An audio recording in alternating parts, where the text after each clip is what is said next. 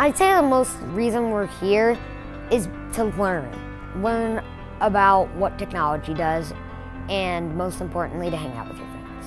I would say public speaking and, and reading from a script would, would obviously be some of the, the skills that are most important that they find that, that they need right away and that they start developing. But then a lot of collaboration and a lot of making sure that you are speaking with your coworkers in a respectful way and figuring out how to motivate other coworkers to do different things in, in the right way, kind of getting more bees with honey.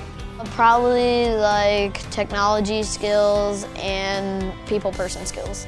It could help them learn like academic things that they need to help in their life.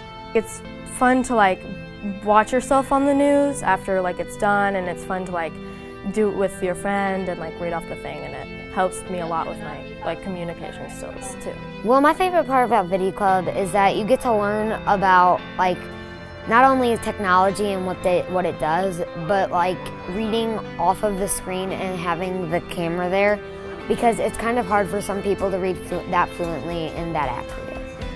I really enjoy it. I mean, it gives me like you know something to do after school instead of you know going home and just watching TV.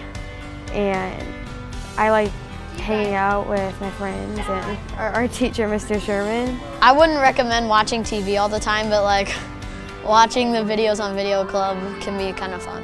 In almost every episode that we've ever done, there are certain things that stay consistent.